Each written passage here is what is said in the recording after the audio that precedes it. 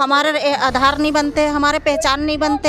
हाँ। अब जब हमारे ये सब कुछ बन गया है क्यों बनाया? जब हम गैर कानूनी जगह पे रह रहे हैं तो क्यों बनाया? हमारे पास कोई खाना नहीं है हमें नहीं हमें नहीं मिला कोई खाना। हमने कोई एक पड़ोसी है जितने उसके गरीब है वो इंसान वो भी एक टाइम दे जाता है वो हमें खाना रात में दे जाता है वो हम बच्चों को देखो पानी पिला रहा है बच्चे को दूध नहीं है बच्चे के पास भी दूध नहीं है पानी ही पिला रही हूँ मैं उसको भी। हमें रहते हुए वहाँ।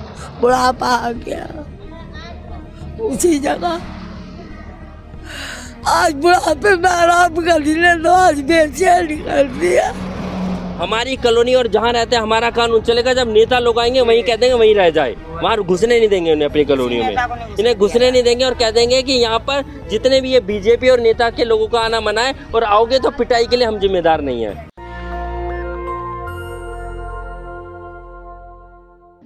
नमस्कार मैं इस वक्त मौजूद हूँ दिल्ली सेक्रेटेरिएट के बाहर। यहाँ से कुछ सौ मीटर दिल्ली सेक्रेटेरिएट है और यहाँ पर कुछ लोग बैठे हैं वो लोग जिनके मकान छीन लिए गए जिनसे उनका घर छीन लिया गया जिन्होंने अपनी मेहनत की कमाई से उनके घर बनाए थे अपनी झुग्गियाँ बनाई थी। ये सब अ, असल में शुरुआत जो होती है झुग्गियों के बनने की और टूटने की असल में शुरू होती है इंडस्ट्रियलाइजेशन से। इंडस्ट्रियलाइजेशन हुआ तो यूरोप में लेकिन उसका असर हिंदुस्तान तक आया। जब कोई बड़े शहर बनते हैं तो उसको बनाने में ऐसे लोगों का हाथ होता है, जिस, जिनके पास उस शहर की का मालिकाना हक कभी नहीं आ पाता है। और मजबूरन उन लोगों के पास उन लोगों को झुग्गियों में रहने के लिए मजबूर होना पड़ता है। और वही लोग जिनके लिए उन्होंने ये शहर बनाया था, वो लोग इन्हें इलीगल कहने लग जाते हैं, घुसपैठिए कहने लग जाते हैं। मैं कुछ तस्वीरें दिखाना चाहता हूँ आपको। ये लोग देखिए, लोग अपने बच्चों तक को लेके आए हैं और ये वो लोग हैं जिन्होंने आज एक हरजाना चुकाया है। हरजाना उस चीज़ का जो इन्होंने रईसों के लिए जो शहर बना के दिया, वो वही रईस आज इन्हें इलीगल बता रही है। वही सरकार जो इन्होंने इन्होंने खुद अपने वोट से चुनी। वो इन्हें इलीगल बता रही है। इनके घरों को इलीगल बता रही है। इनके पोस्टर्स को आप पढ़ सकते हैं। जो जो बातें इनके पोस्टर्स पर लिखी है, वो सभी सच हैं और ये आए हैं दिल्ली के बाबरपुर इलाके से, जहाँ जहाँ पर दिल्ली सरकार के में ही मंत्री गोपाल राय विधायक चुन के आए हैं। पर्यावरण मंत्री हैं गोपाल राय। और ये जनता कॉलोनी में रहते हैं बाबरपुर की। और यहाँ पे जो सभी लोग हैं, वो वो लोग हैं जो इस दिल्ली को चलाते हैं। अगर ये वर्ग दिल्ली में ना हो तो इस दिल्ली की हालत किसी किसी खंडहर से कम नहीं होगी। जिस दिल्ली को हम समझते हैं कि ये ग्लोबल सिटी बनने वाला है, ये वैश्विक स्तर का शहर बनेगा न्यूयॉर्क से कंपेयर कंपेयर करते हैं हम दिल्ली को, लेकिन वो दिल्ली कुछ भी नहीं है अगर ये लोग ना हो। और इन्हीं के लोग, इन्हीं के घर आज छीन लिए गए हैं। एनसीडी ने बिना किसी नोटिस के, बिना किसी प्रायर नोटिस के वो इनके घर उजाड़ दिए हैं। यहाँ पे मौजूद हैं का, काफ़ी सारे लोग हैं उनसे अभी हम बात करेंगे। क्या क्या है इनके मन में इस वक्त? अ, आंटी जी कहाँ से आए हैं और जनता कॉलोनी से पीली मिट्टी। बाबरपुर बाबा अच्छा कितने सालों से रह रहे थे आप वहाँ? जी चालीस पैंतालीस साल से रह रहे थे। हाँ। और यहीं से शादी हुई मेरी मेरा बच्चा पत- होगा तीस साल का है। हाँ। और क्या कहते हैं हमारा सब कुछ है प्रूफ है उसमें। हाँ सब बने हुए अगर हम गैर कानूनी जगह पे रहते तो हमारे पासपोर्ट नहीं बनते बच्चों के। हमारे आधार नहीं बनते, हमारे पहचान नहीं बनते। हाँ अब जब हमारे ये सब कुछ बन गया है, क्यों बनाया? जब हम गैर कानूनी जगह पे रह रहे हैं तो क्यों बनाया? हाँ तो फिर उनको जाके पकड़ो ना। हमें क्यों हमें क्यों हटा रहा हो? हमें क्यों हटा रहा हो? अगर फिर उसके बाद हमें भी पकड़ लो। अगर हम गलत जगह पे रह रहे हैं तो। अच्छा। और हमें कोई सूचना नहीं दी और मैं बीमार थी हॉस्पिटल से अरबन से आई थी मैं। और बच्चे ने किसी ने आके बताया घर में कोई नहीं था मेरे छोटे बच्चे थे। बड़ा लड़का भी मेरा काम पर गया हुआ था। और वहाँ बच्चा छोटा कह रहा आंटी आपकी झुग्गी तोड़ने वाले आ गए। मैंने सोचा बच्चे ऐसे ही कह रहे हैं और मैं बाहर निकल के देखूँ तो बिल्डोजर फिर लेडीज़ पुलिस आ गई। कितना कितना टाइम हो गया? आठ तारीख की बात है ये। आठ तारीख जी हाँ जुमेरात का दिन। अच्छा। और वहाँ से जब हमें बच्चे ने बताया मैं बाहर निकली लेडीज़ पुलिस पकड़ कर और दो तीन जनी थी उन्होंने हाथ पकड़ के गए। मैंने कहा मेरा बच्चा है वहाँ अंदर। बोले बच्चों को मैं ला रही हूँ। मैंने कहा नहीं मैं कैसे जाने दूँ? मैं अपने बच्चे नाप उठा कर लेकर आऊँगी। मुझे मेरे बच्चों को उठाने दो। और लाइट भी नहीं कटी हुई थी। उसमें लाइट मेरा बिजली का बिल उल सब कुछ और जब करंट भी आया उसके अंदर जब मैंने चीखे मारी मैंने कहा मेरा बच्चा दबा हुआ है उसके अंदर मेरे बच्चों को तो निकालने दब गया था बच्चों के मेरा बच्चा सो रहा था उसके अंदर जुग्गी के अंदर। कितने साल का ऐसी होगा तीन साल का। अच्छा। और बच्चा आया हुआ और और बच्चे का फ़ोटो भी बना हुआ है वो भी बच्चा दबा हुआ था, उसको मारा गया। उस बच्चे को मारा गया है, उस चोट लगी हुई, उसको लेकर नहीं आई मैं। दोनों पैरों में चोट मारी गई है। बच्चे मोटा सा है पुलिस वाले थे, लेडीज़ पुलिस, दो दो जनों ने मुझे पकड़ रखा था। धक्के दे दे के। और मेरा मेरे तो वैसे ही भी तबीयत खराब बहुत ज़्यादा थी, और अब मैं मैं लेकर नहीं आई अपने प्रूफ, अगर वो दिखाती हॉस्पिटल के कागज़ उगज उसी दिन में आई थी हॉस्पिटल से। अब ये लगाओ कि क्या कहते हैं मुझे थोड़ा सा वक्त दे दो मेरे बच्चों को समेटने दो जो मेरा सामान है मेरे लड़के की शादी थी शादी का मेरा सामान उमानी मैंने इकट्ठा कर रखा लड़के का लड़के की मेरी शादी थी। अच्छा। उसका भी सामान मैंने इकट्ठा कर रखा था और मेरा कुछ भी सामान नहीं मेरा सिलेंडर भी मैंने कल निकाला और मैं वहीं पड़ी हुई हूँ। कब मैं बीमार इंसान कैसे निकालूं मैं? बीमार कैसे निकालूं मैं? सामान मुझसे नहीं निकल पा रहा अब धीरे धीरे कपड़े लत्ते जैसे कैसे भी हम आए पानी नहीं है पीने के लिए किसी कोई सी चीज़ नहीं है वहीं भूखे हैं? वहीं पे ही पड़े हैं हम अभी तक खुले में ही पड़े हैं। हम्म। अंकल जी काम क्या करते हैं? चिकन का काम करते हैं मजदूरी किसी के पास में ही साफ़ सफ़ाई हाँ हाँ उस उसमें ही गए हुए थे वो काम पर वो भी नहीं थे। अच्छा लड़का क्या काम करता है आपका? लड़का भी किसी के धोरे लगा हुआ है काम पर। अच्छा। हम्म। दीदी आप कितने साल से रह रहे थे वहाँ? हम भी वही साल में रह रहे हैं दस काफ़ी साल हो गए हमें भी रहते हुए। अच्छा। हाँ। कौन है? फैमिली में कौन कौन है दो लड़कियाँ मेरी हैं एक आदमी है, वो बीमार रहता है कमाने वाला। अब मैं झाड़ू पोछा करती हूँ कोढ़ियों में। हैं, और आप लोगों ने मदद करी थी फिर हमारी झुग्गी भी तोड़ दी अन्ना कुछ निकाला हमारा बर्तन वर्तन कुछ भी नहीं सारा दवा पड़ा हुआ है।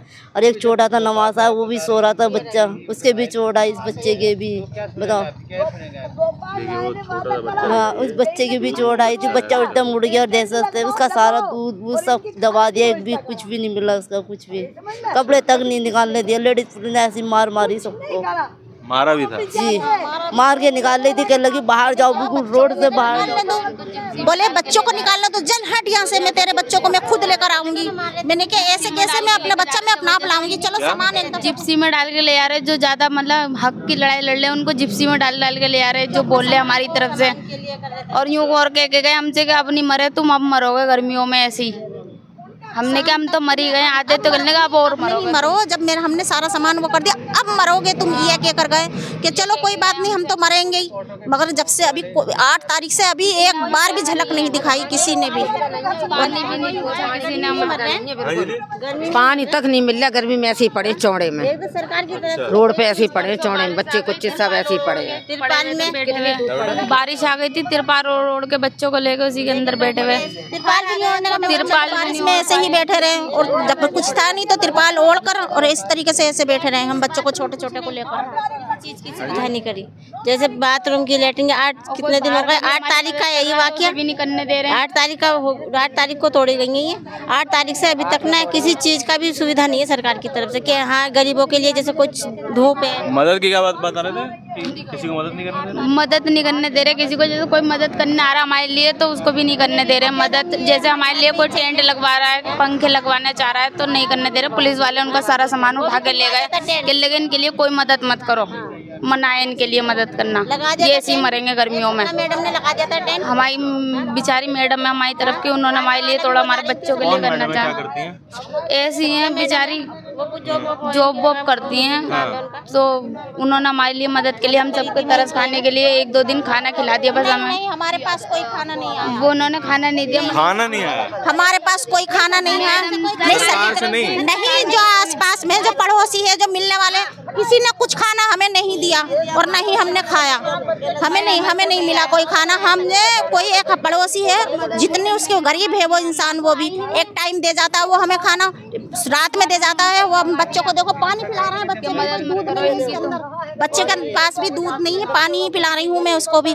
और क्या कहते हैं कोई एक टाइम दे जाता है हमें खाना वही हम एक टाइम खाते हैं। सुबह को हम वहीं बैठे रहते हैं अपना सामान निकालते रहते हैं। रात में वो खाना दे के जाते हैं हमारे जो पड़ोसी मिलने मिलाने वाले हैं जो मतलब ये हमारा कोई किसी ने हमें खाना नहीं दिया। कोई नहीं हमारे पास नहीं पहुँचा खाना। लेकिन हम उसी को ही शुक्राना करते हैं अल्लाह का। बस हमें हमें खाने की ज़रूरत नहीं है हमें छत की ज़रूरत है हमें छत दो बस बस हमें वापसी। हमारी जो हम अपने भूखे प्यासे थोड़ी बहुत मेहनत करके अपने बच्चों को पाल रहे थे वो भी हमसे छीन लिया। अब हम कहाँ जाएँगे? हमसे इतनी महँगाई और इतनी महँगाई में किराया कहाँ से देंगे? बीमार बच्चे हमारे साथ में। कहाँ से देंगे हम? हमें छत चाहिए। और आदमी नहीं है मैं तीन बच्चों को अपने बच्चों को लेके पाल रही हूँ और मजदूरी कर रही हूँ। मैं जी झाड़ू बर्तन करती हूँ। अच्छा। जी। घर में काम करती हूँ और घर में काम करके यहाँ रहती थी। यहाँ से मुझे पहले उजाड़ा गया फिर उजाड़ के क्या कहते हैं बिल्कुल ख़त्म कर दिया मेरा यहाँ से। और अब ये भी कहा जा रहा है कि अब तुम्हारा कुछ नहीं मिलने वाला। हमें क्या मतलब है? जाओ यहाँ से भागो। हमें हमारे से कोई मतलब नहीं है यहाँ। मतलब तुम्हारा है या नहीं है? हमने जैसे पूछा हम यहाँ से कहाँ जाएँगे? हैं? गैर कानूनी जगह है। आधार क्यों बनाया हमारा पहचान? क्यों बनाया हमारा हम्म, सब कुछ हमारा प्रूफ क्यों बनाए गए? जब हम गैर कानूनी किसी चीज़ में अब हम यहाँ बैठते हैं। ठीक? अब हमारे सब कुछ बन जाएगा कागज़ हमारे बन जाएँगे। सरकारी कागज़ बन जाएँगे हमारे। नहीं बनेंगे ना तो क्यों बनाए? सबसे पहले उनको जाके पकड़ो ना। हमें क्यों पकड़ा जा रहा है? उसके बाद में हम भी फिर जब हम भी गुनहगार हैं फिर हम हमें पकड़ सकते हो। मीटर क्यों लगाया गया है सर? ये पूछिए आप।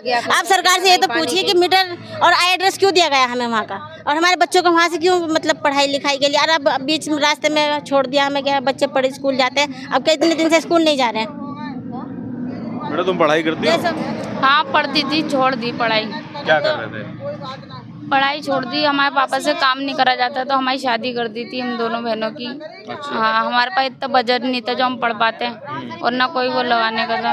तो इसलिए हमने कमज़ोर है तो दी। बहुत हम तो बहुत ही कमज़ोर है। हमारा कोई भाई नहीं है खाली हम दो बहने हैं। अच्छा मम्मी है। और मेरा कलाए पाक बस मैंने दो, दो रिक्वेस्ट करी थी। एक मेरा कलाएँ पाक मुझे ठाने दो और मेरे बच्चों को ठाने दो। चलो सामान भी नहीं ठा पाओगे तो। तो बोले चल हट। यहाँ से मैं ला रही हूँ तेरे बच्चों को। मैंने गया सर, मेरा कलाम पाक तो लाने दो। दो लेडीज़ पुलिस थी, मेरे दोनों हाथ पकड़ कर मुझे नीचे ही गिराया गया। लेकिन बच्चों को मैं लेकर आई। मैं, मेरा कलाम पाक दोनों चीज़ मेरे लिए कीमती थी। दोनों चीज़ मेरी कीमती थी। सामान तो मैं अब भी निकाल रही हूँ, मगर मैंने सामान की इतनी परवाह नहीं करी, मगर मैंने दो ही चीज़ की कीमती, चीज़ मेरी वही थी सिर्फ़। और आज भी निकाल ही रही हूँ। और आप वो देख सकते हैं, फ़ोटो देख सकते हैं कि है मेरे पास, जो सिलेंडर है और सामान है, सब सामान मेरा निकल ही रहा है धीरे धीरे मगर किस काम का, कुछ काम का नहीं है वो मेरा सामान। जो मैं बना के खा भी सकती हूँ। केजरीवाल से ये पूछा जाए, आप ऑटो वालों के साथ में खाना खा रहे हैं? कम से कम यहाँ आके जुग्गे वालों के औरतों को कम से कम दे के दिलासा ही दे जाए खाली। आप तो खाना खा रहे हो कि ये खाना खा रहे हैं?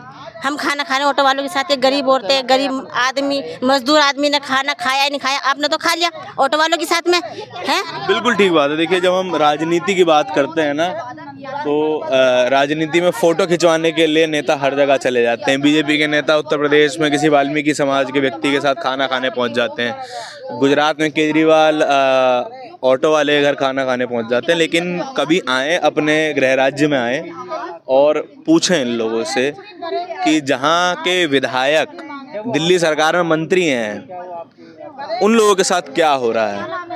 उन लोगों के उनके घर उजाड़ दिए गए हैं। इस बच्ची की शादी हो गई क्योंकि वो उसके पिताजी के पास उसको पढ़ाने का पैसा नहीं था। ये लोग अपने घरों के खंडहर पे अभी भी वहीं बैठे हुए हैं और धीरे धीरे करके अपना सामान निकाल रहे हैं। दिल्ली गर्मी आप समझ सकते हैं कि दिल्ली में बहुत जल्दी सर्दियाँ आती नहीं हैं और क्या हाल है इस वक्त दिल्ली का? और उससे भी बदतर हालात में किस तरीके से वो लोग रह रहे हैं? पीछे और लोग हैं उनसे भी बात करते हैं।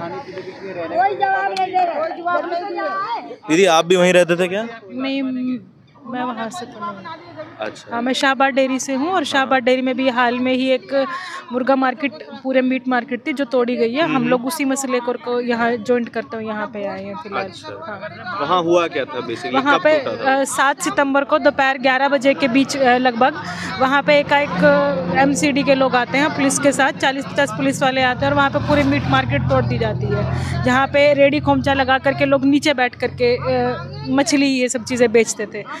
तो ये तो गलत किया गया वहाँ पे भी बिना किसी सूचना के बिना किसी नोटिस के सब चीज़ें की गई हैं। तो हम लोगों की यही डिमांड है कि वहीं पर दोबारा उन लोगों को बैठाया जाए दोबारा वहीं पर उन लोगों को जगह दी जाए जहाँ पे है और पक्के तरीके से पक्का स्थान बना करके दिया जाए प्रॉपर तरीके से आप करती क्या है?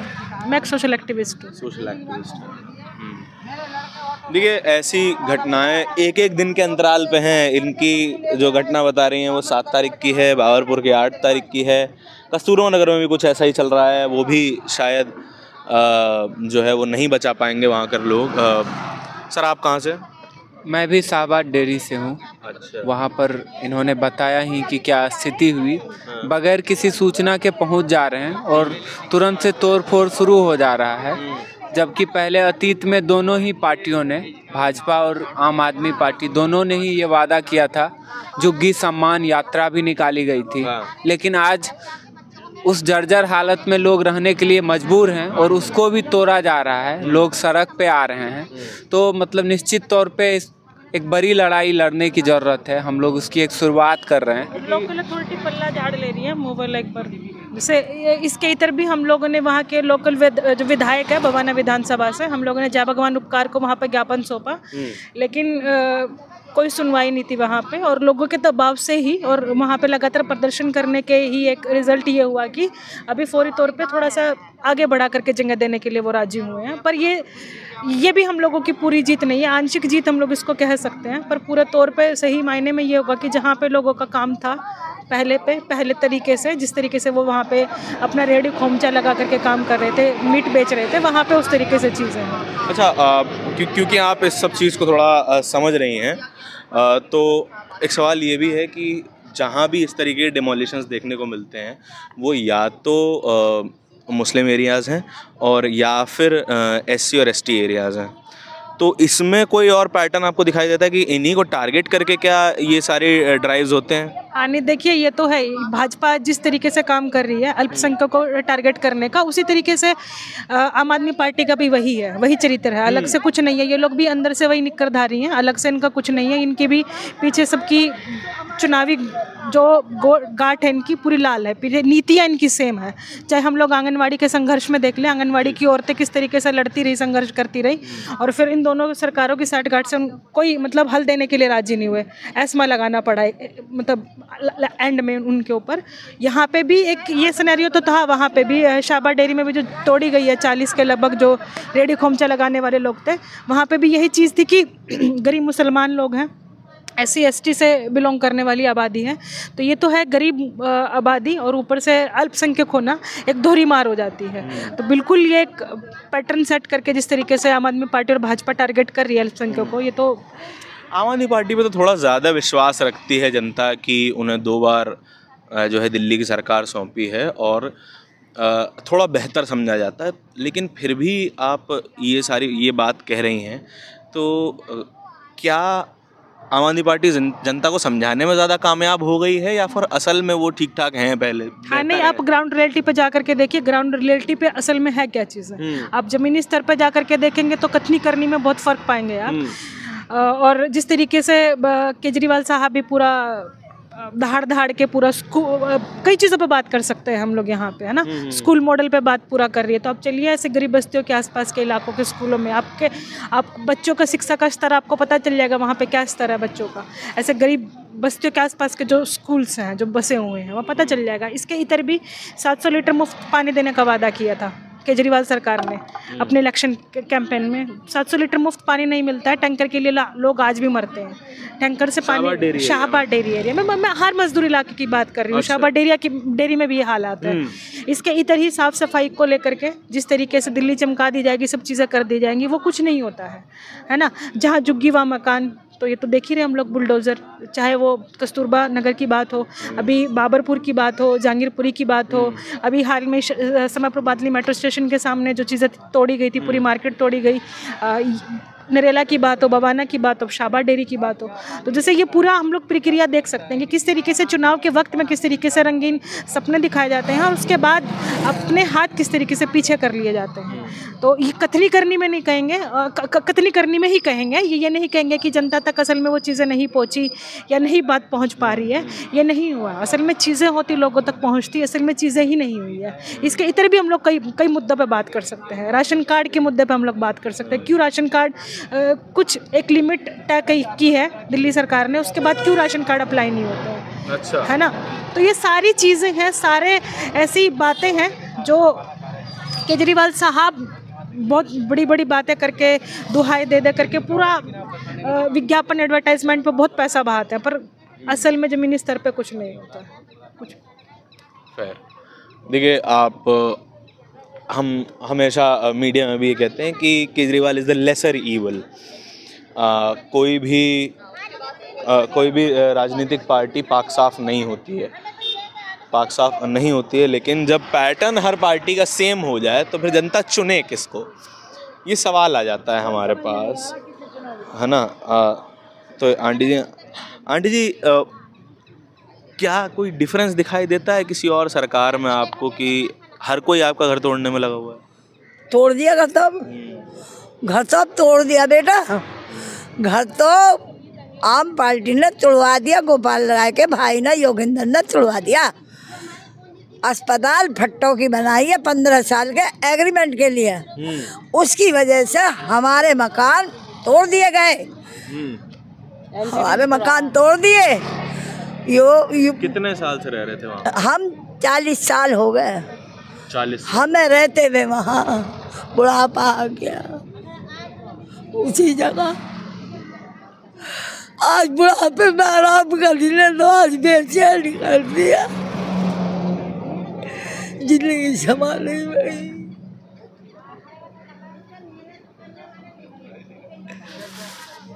देखिए मैं मैं मैं इस वक्त कोई सवाल पूछ नहीं सकता हूँ या अगर मैंने सवाल पूछा भी तो बिला शक मैं इंसेंसिटिव कहलाऊँगा।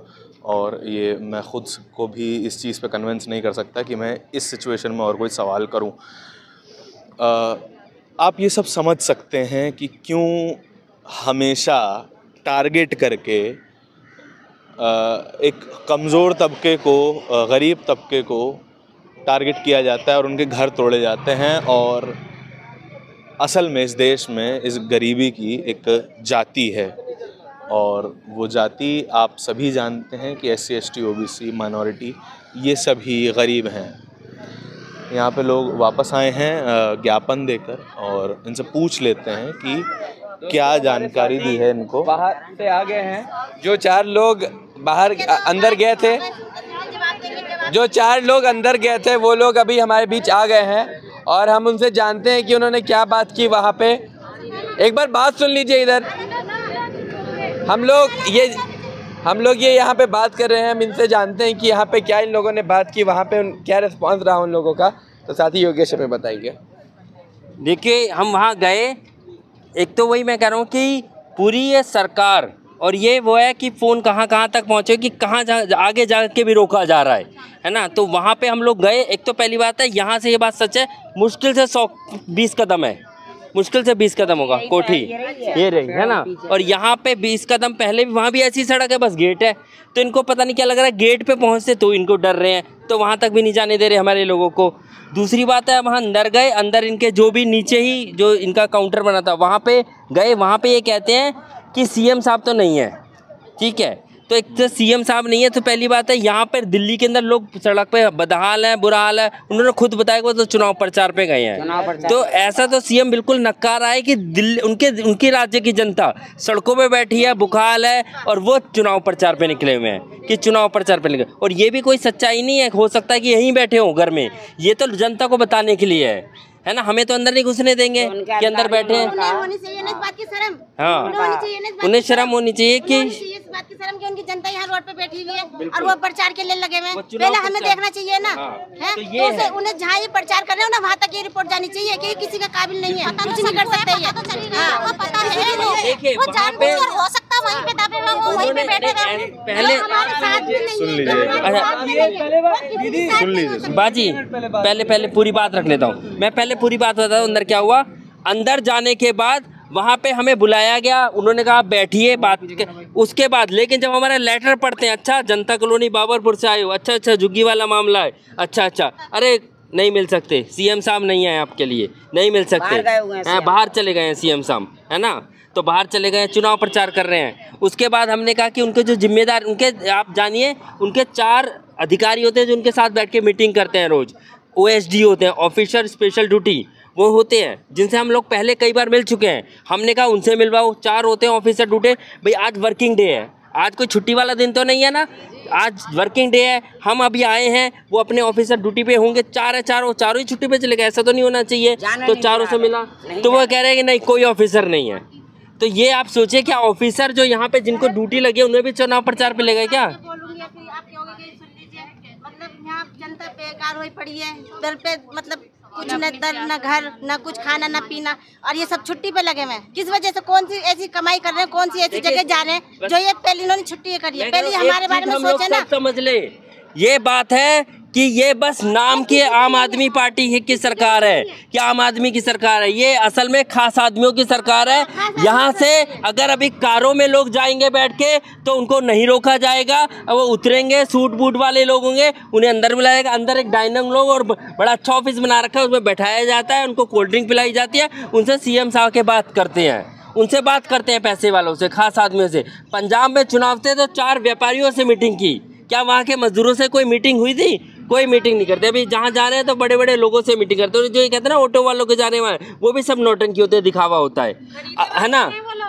खरीदे हुए लोग होते हैं सही बात है। तो हाँ। बिल्कुल। तो अभी ये है कि देखिए यहाँ पर हम सीएम साहब के गए यहाँ पे हमें मिलने से मना कर दिया कि बाबरपुर जनता कॉलोनी से नहीं मिलने जाए। समय नहीं है टाइम नहीं है नहीं मिले। हमने उन्होंने कहा, बस आप अपनी एप्लीकेशन दे दीजिए एप्लीकेशन हम सीएम साहब को दिखा देंगे। लेकिन हमने कहा, जिम्मेदार आदमी से बात करने तो नहीं करने दिया है। तो ये भी समझने दिए कि ये हम लोगों से वोट लेके हमें धोखा देने का काम कर रहे हैं, वो साफ़ साफ़ दिख रहा है। जैसे मोदी सरकार मजदूर विरोधी है, ऐसे ही केजरीवाल सरकार भी मजदूर विरोधी है। ये नाम क्या आम आदमी पार्टी है? असल में ये खास आदमी खास आदमी पार्टी है, खास लोगों की सेवा करते हैं, खास लोगों का काम करते हैं, टोपी लगा के हमें बेवकूफ़ बनाते हैं। अब बस एक हुआ ये है कि एक हमारी जो एप्लीकेशन है वो मुख्यमंत्री आवास के लिए उन, उनको दे दी गई है। वहाँ पे रिसीव हो गई है। एक डायरी नंबर एप्लीकेशन छब्बीस है। फ़ोन नंबर उन्होंने दिया है अपना। लैंडलाइन नंबर जिन्होंने लिया है कि आप हमसे 102 दिन में फ़ोन कीजिए और हमारे नंबर ले लिया है अभी ज़िम्मेदारी के रूप में उन्होंने मेरा ही नंबर लिया था। वो हमें फ़ोन करेंगे 102 दिन में कि अगर कोई सीएम साहब कहते हैं कि एक बार बात करनी है तो वो बुलाएँगे। है ना? इनके नीचे वैसे इनका भी नंबर है इनका भी नंबर है। अपॉइंटमेंट मिला 102 दिन के बाद ये इन्होंने कहा है कि हम सीएम साहब से बात करेंगे उसके बाद हम आपको फ़ोन करके बताएँगे कि वो क्या कहते हैं इसके जवाब में। अपॉइंटमेंट भी नहीं कह सकते अपॉइंटमेंट नहीं कह सकते। कोई अपॉइंटमेंट नहीं। मिली है ना हाँ, ये 626 नंबर बस रिसीविंग मिली है और कहने के लिए इन्होंने एक फ़ोन नंबर दे दिया कि हमारा फ़ोन नंबर है। हालाँकि वो कह रहे हैं कि हाँ। हाँ वो एक तरफ़ कहते हैं कि सीएम साहब नहीं है दूसरा कहते हैं सीएम से सिविल लाइन चले जाओ अपनी जान छुड़ाने के लिए। है ना? गए तो उन्होंने भी तो दो दिन का वक्त दिया था। हाँ तो मैं ये कह रहा हूँ कि देखिए एक चीज़ को समझ लीजिए। हम इनका इंतज़ार कर रहे हैं, ठीक है? इन नंबर पे बात करके देखेंगे। एक से दो दिन में अगर कोई जवाब नहीं आता।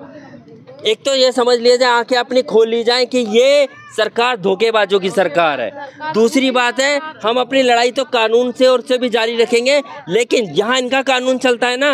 इनका कानून, इनकी पुलिस फौज है। हमारी कॉलोनी और जहाँ रहते हैं हमारा कानून चलेगा जब नेता लोग आएँगे वहीं कह देंगे वहीं रह जाए। वहाँ घुसने नहीं देंगे उन्हें अपनी कॉलोनियों में। इन्हें घुसने नहीं देंगे और कह देंगे कि यहाँ पर जितने भी ये बीजेपी और नेता के लोगों का आना मना है और आओगे तो पिटाई के लिए हम जिम्मेदार नहीं है।